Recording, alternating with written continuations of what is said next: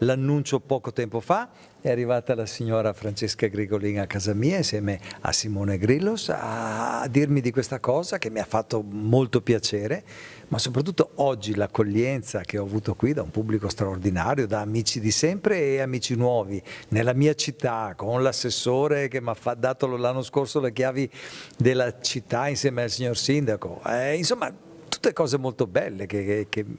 non possono che rendermi felice. Io Sanremo, se l'ho fatto bene, l'ho fatto non solo per l'esperienza, perché avevo una bella canzone, perché Dio mi ha dato la voce, ma perché ho fatto i compiti a casa con grande attenzione, ho studiato, ho preparato la cosa.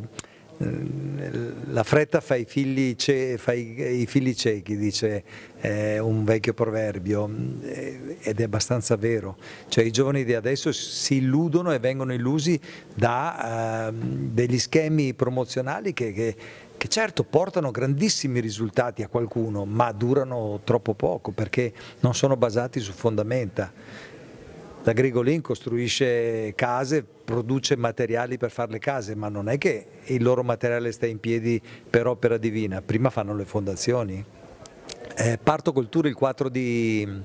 di maggio, eh, toccherò 14 teatri italiani, i più importanti, da, da, Padova alla Sicilia, a Milano, a Torino, Firenze, Roma, Bari e via, Napoli. Per me oggi è un giorno importante perché come appunto è stato detto eh, tutti i sogni oggi si sono realizzati, però mh, ti ringrazio per questo il mio amico e soprattutto collaboratore Simone perché uh, si è impegnato molto per questa giornata e quindi la dedico a lui.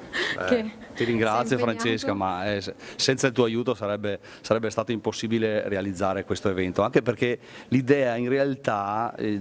l'Eltrano ce l'ha avuta lei, poi io l'ho sviluppata, l'ho organizzata, ma in realtà questa, questo colpo di genio ce l'ha avuto lei, perché come dice Red, è una ragazza incredibile nel lavoro, però nella vita è una persona altrettanto straordinaria in un altro modo. Questo premio eh, è importante perché ci fa entrambi, personalmente questo lo dico,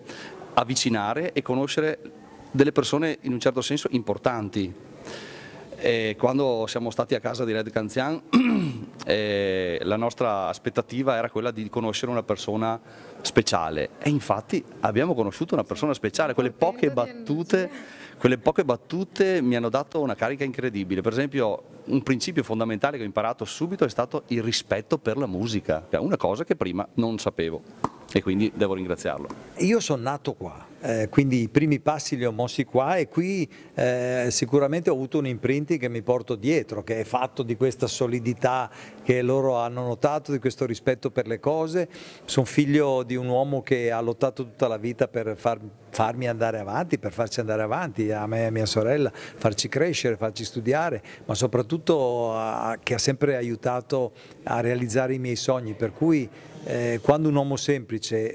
eh, si, si, si, danna la vita pur di far felici i figli, eh, tu ricevi un insegnamento che è qualcosa di importante, quindi il territorio, il ricordo di, di mio padre, di, di, di, queste mie origini che sono sicuramente mm, molto lontane ma molto semplici. Eh. Quando tu hai ricevuto questo, eh, dai valore a tutto il resto nella vita.